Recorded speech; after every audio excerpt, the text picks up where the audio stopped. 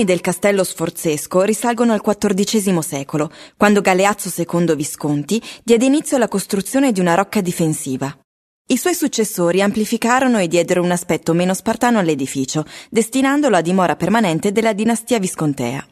Alla morte del duca Filippo Maria nel 1447, la Neorepubblica Ambrosiana ordinò la completa distruzione della rocca, che avvenne fortunatamente in modo parziale.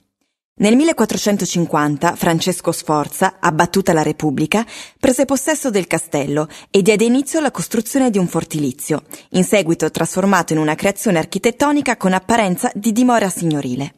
Inizialmente i lavori furono affidati a Giovanni da Milano e Filippo Scorciali, poi proseguirono sotto la direzione di Jacopo da Cortona.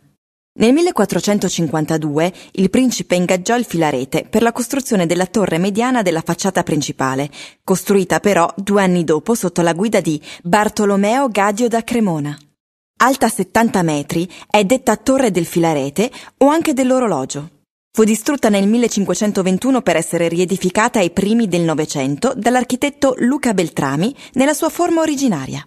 Durante il dominio spagnolo e l'epoca napoleonica, il castello subì ancora varie trasformazioni, finché, con l'annessione della Lombardia al Regno di Sardegna, il vecchio maniero non passò al rango di caserma e nel 1880 ne fu sentenziata addirittura la demolizione. Per volontà dei milanesi e l'intervento della società storica lombarda fu scongiurato ogni intervento e nel 1893 Luca Beltrami poté iniziarne invece i lavori di restauro. La facciata principale, verso piazza Cairoli, ha al centro la torre del filarete. A destra e a sinistra si dipartono le solidissime cortine in laterizi, in cui si aprono sei grandi bifore dalle ricche cornici in cotto. All'estremità sono le due torri cilindriche a bugnato.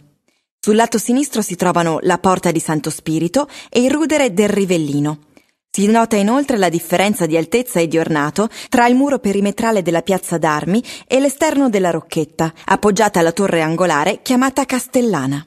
La facciata opposta presenta i simmetrici corpi di fabbrica. Dalla porta del filarete o dalla porta di Santo Spirito si accede alla piazza d'armi, il cortile più vasto del castello.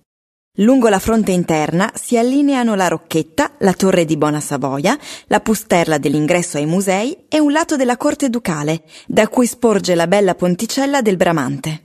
Il cortile della Rocchetta sorge sul sito della Rocca Viscontea.